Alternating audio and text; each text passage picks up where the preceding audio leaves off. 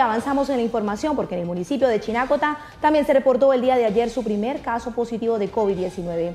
Jairo Alonso, ¿qué dicen las autoridades en ese municipio de norte de Santander? Buenas tardes. Muy buenas tardes.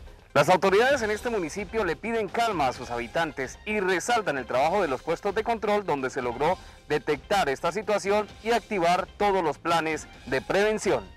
Nosotros como, como IPS tenemos eh, los protocolos activados permanentemente y fue así como se llevaron a cabo para la atención y el traslado de este paciente.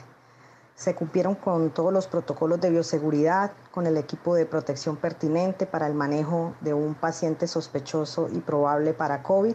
Con salud pública se hizo la comunicación respectiva, quien activó el cerco epidemiológico correspondiente para darle el manejo.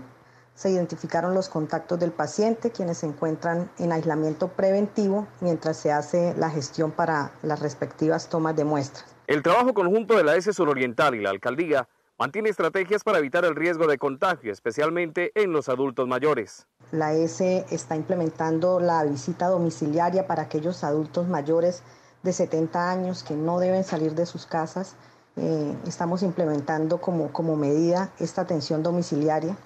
La persona afectada se encuentra aislada y las autoridades adelantan el cerco epidemiológico con las personas que pudo tener contacto directo. Esta es la información desde Chinácota. Para Oriente Noticias, estamos informando.